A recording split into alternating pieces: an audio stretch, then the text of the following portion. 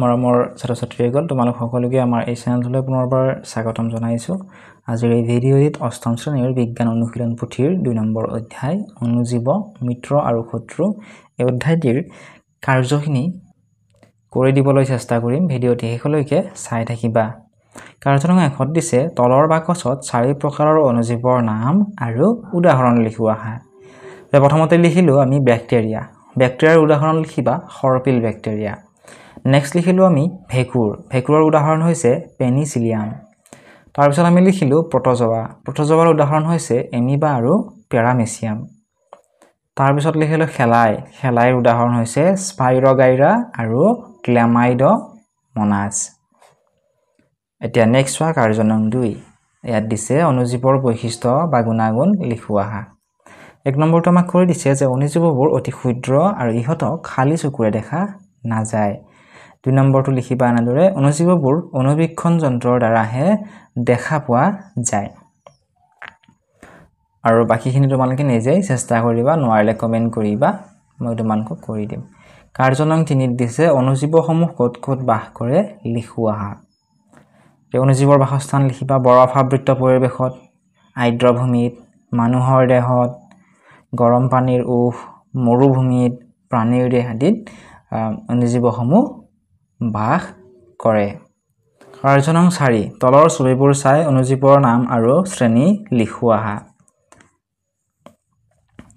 এইটো আমাক কৰি দিয়া আছে এছপাৰজিলাছ শ্ৰেণী হৈছে ভেঁকুৰ এয়া হৈছে এমিবা। শ্ৰেণী হৈছে প্ৰটজোৱা এয়া হৈছে পেনিচিলিয়াম শ্ৰেণী হ'ব ভেঁকুৰ।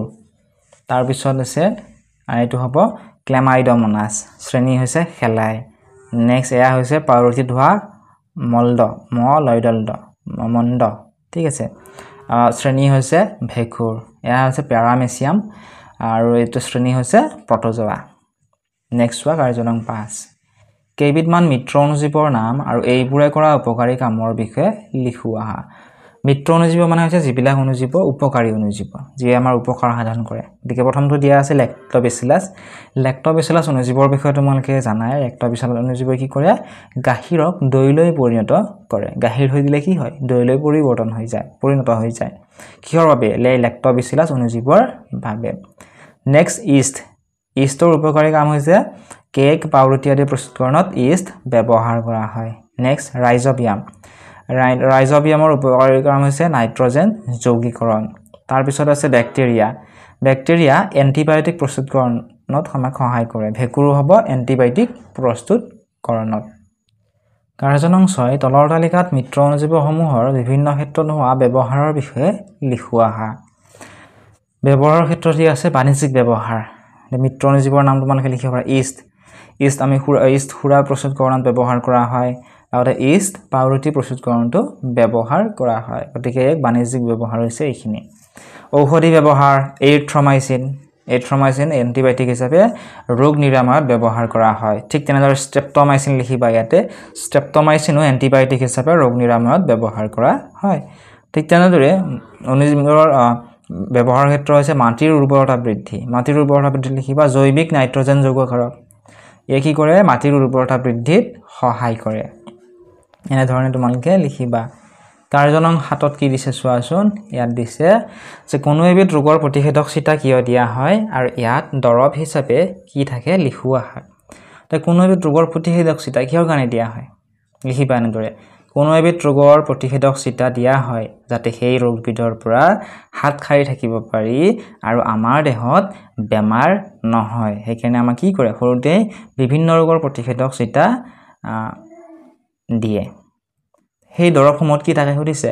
সেই দৰৱসমূহত কিছুমান উপকাৰী অনুজীৱ থাকে যিয়ে আমাক সেই ৰোগবিধৰ পৰা হাত সাৰি থকাত সহায় কৰে। কাৰ্যনং আঠ ভাইৰাছবোৰ অনুজীৱ হয়নে? ভাইৰাছৰ পৰা হোৱা দুবিধ ৰোগৰ নাম লিখা।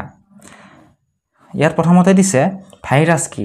লিখিবা এনেদৰে যি অকল জীৱিত পোষক কোষত বংশ বৃদ্ধি কৰিব পাৰে কিন্তু কোষৰ বাহিৰত জড় প্ৰকৃতিৰ সেইবিলাকক ভাইৰাছ বোলে।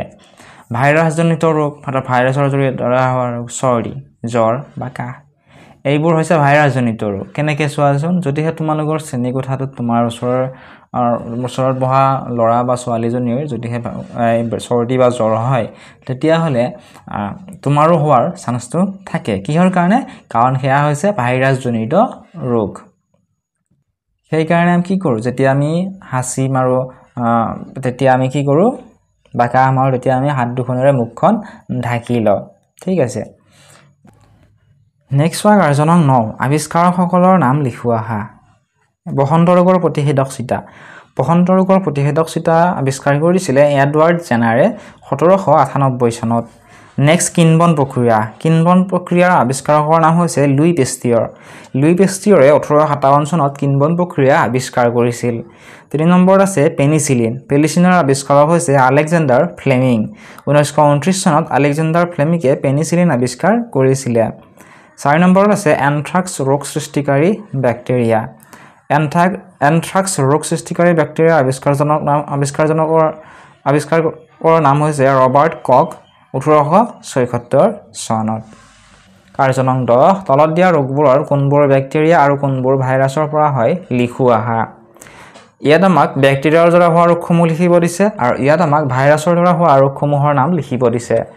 বেক্টেৰিয়াজনিত ৰোগসমূহৰ নাম লিখিবা যক্ষ্মা চাইট্ৰাছ কেংকাৰ তোমালোকে যদি ইয়াত চিনি নোপোৱা ইয়াৰ পৰা চাই চাই লিখিব পাৰিবা। যক্ষ্মা চাইট্ৰাছ কেংকাৰ কলেৰা আৰু টাইফইড হৈছে বেক্টেৰিয়াজনিত ৰোগ। ভাইৰাছজনিত ৰোগ হৈছে গৰু মহৰ চবকা ৰোগ পলিঅ' চৰ্দি জ্বৰ yellow' vein mosaic hepatitis B আৰু মাজুৱাই। এতিয়া চাওঁ আহা কাৰ্যনং এঘাৰ ইয়াত কি দিছে চোৱাচোন। ইয়াত দিছে যে খাদ্য কি কি উপায়েৰে সংৰক্ষণ কৰা হয় লিখো আহা তোমালোকে চাবাচোন তোমালোকৰ ঘৰত যেতিয়া খাদ্যসমূহ সংৰক্ষণ কৰে যেনে ধৰা আচাৰে বনালে তেতিয়া কি কৰে? সাধাৰণ যে আমি ভাতৰ লগত নিমখ খাওঁ সেয়া নিমখ ব্যৱহাৰ কৰা হয়। গতিকে লিখিবা সাধাৰণ নিমখৰ সহায়ত। ঠিক আছে নেক্সট তোমালোকে লিখিবা তেল আৰু ভিনেগাৰৰ সহায়ত আচাৰ আচাৰ দিলে আচাৰত কি দিয়ে? তেল দিয়ে ভিনেগাৰ যাতে আচাৰখিনি বেয়া হৈ নাযায়। বেয়া হৈ নাযায় মানে কি? সেই খাদ্যখিনি সংৰক্ষণ কৰা হয়। নেক্সট তাপ আৰু শীতলীকৰণ পদ্ধতিৰে অৰ্থাৎ ইনভাৰ্টাৰ ইউজ কৰি খাদ্য সংৰক্ষণ কৰা হয়। নেক্সট পেকেটকৰণৰ জৰিয়তে পেকেটিঙৰ পেকেটকৰণৰ জৰিয়তেও খাদ্য সংৰক্ষণ কৰা হয়। তাত চাবাচোন যেনে চিপছৰ পেকেটটোত কি ভৰোৱা থাকে? তোমালোকে নিজে চাবাচোন চিপছ নিশ্চয় তোমালোকে খায়েই পাইছা। পেকেটকৰণৰ জৰিয়তেও খাদ্য সংৰক্ষণ কৰা হয়। নেক্সট শ্ৰেণীৰ সহায়তো খাদ্য সংৰক্ষণ কৰিব পাৰি। ঠিক আছে এইখিনি তোমালোকে লিখিবা। মৰমৰ ছাত্ৰ ছাত্ৰীসকল যদি এই ভিডিঅ'টো চাই তোমালোকে ভাল পাইছা তোমালোকে ভিডিঅ'টো লাইক কৰি দিয়াৰ লগতে তোমাৰ বন্ধু বান্ধৱীসকলৰ লগতো ভিডিঅ'টো শ্বেয়াৰ কৰি দিবলৈ নাপাহৰিবা। কিবা যদি তোমালোকৰ সোপোজা থাকে কমেণ্ট ছেকশ্যনত কমেণ্ট কৰি সুধিব পাৰিবা। মই চেষ্টা কৰিম তোমালোকে কৰা প্ৰশ্নসমূহৰ উত্তৰখিনি কমেণ্ট ছেকশ্যনতে দিবলৈ। কাৰ্যনং বাৰত দিছে প্ৰাণী আৰু উদ্ভিদে নাইট্ৰজেন কেনেকৈ পায়? লিখো আহা। লিখিবা এনেদৰে মই তলত লিখি দিছোঁ চোৱা। তোমালোকে কৈ গৈছোঁ তোমালোকে ইয়াত শ্ৰেণী যদি নোপোৱা তেতিয়াহ'লে শুনি শুনি লিখিব পাৰিবা। প্ৰাণী আৰু উদ্ভিদে বায়ুমণ্ডলীয় নাইট্ৰজেন পোনে পোনে গ্ৰহণ কৰিব নোৱাৰে। অৰ্থাৎ আমাৰ বায়ুমণ্ডলত আটাইতকৈ বেছি পৰিমাণে থকা গেছবিধৰ নাম কি? Nitrogen gas. Seventy eight point zero' eight percent থাকে নাইট্ৰজেন গেছ। কিন্তু প্ৰাণী আৰু উদ্ভিদে সেই বায়ুমণ্ডলত পোৱা নাইট্ৰজেন গেছ পোনে পোনে গ্ৰহণ কৰি ল'ব নোৱাৰে। মাটিত থকা কিছুমান বেক্টেৰিয়া আৰু নীল সেউজীয়া শেলাইয়ে বায়ুমণ্ডলৰ নাইট্ৰজেন যৌগীকৰণ কৰি নাইট্ৰজেনৰ যৌগলৈ পৰিৱৰ্তন কৰে। বায়ুত থকা নাইট্ৰজেন গ্ৰহণযোগ্য নাইট্ৰজেনলৈ পৰিৱৰ্তিত হোৱাৰ পিছত উদ্ভিদে ইয়াক শিপাৰ সহায়ত আহৰণ কৰে। কাৰ্যনং বাৰত দিছে পাঠটোৰ কাৰ্যসমূহৰ পৰা কি কি জানিলোঁ লিখোঁ আহা এক নম্বৰত লিখিবা আমি কি কি জানিলোঁ? যে অনুজীৱ কি আৰু অনুজীৱৰ প্ৰকাৰসমূহৰ বিষয়ে আমি জানিলোঁ। দুই নম্বৰত লিখিবা অনুজীৱৰ বৈশিষ্ট্য আৰু গুণাগুণ সম্পৰ্কে আমি জানিলোঁ। তিনি নম্বৰত লিখিবা অনুজীৱসমূহ ক'ত ক'ত বাস কৰে আমি জানিলোঁ। চাৰি নম্বৰত লিখিবা প্ৰতিষেধক চিতা কিয় দিয়া হয় আমি জানিলোঁ। পাঁচ নম্বৰত লিখিবা ভাইৰাছৰ পৰা হোৱা ৰোগৰ বিষয়ে জানিলোঁ। ছয় নম্বৰত লিখিবা খাদ্য কি কি উপায়েৰে সংৰক্ষণ কৰা হয় জানিলোঁ। আশা কৰিছোঁ ভিডিঅ'টো চাই তোমালোকে উপকৃত হ'লা। যদি ভাল পাইছা ভিডিঅ'টো লাইক কৰি দিয়াৰ লগতে চেনেলটো ছাবস্ক্ৰাইব কৰি দিবলৈ নাপাহৰিবা। কিবা যদি সুধিবলগীয়া থাকি গ'ল কমেণ্ট ছেকশ্যনত কমেণ্ট কৰি সুধিব পাৰিবা।